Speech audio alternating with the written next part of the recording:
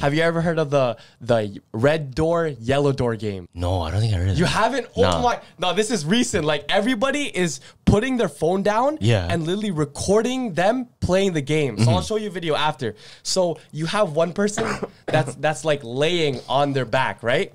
And another person is is going like this, right, mm-hmm. to their, their their brain. So the whole point of the game is try to uh, hypnotize the other person so they can visualize our uh, different sets of doors, right? Yeah. And the whole point of it is like uh, you can open any door you want, but you have to be careful of which door you open, right? Mm-hmm. So there's three rules. What the first rule, if you see a guy in an all black suit, you have to end the game immediately, Why? or else Why? he'll kill you in that dream, in that hypnosis. Oh shit. Yeah. So if you die like in the dream, He'll do you- actually like there's actually people that went out of the dream traumatized too because they were that close. So second rule, if you see any demons or thing talking to you, don't talk to them in that dream. And mm. the last one, if you get trapped in a room full of clocks,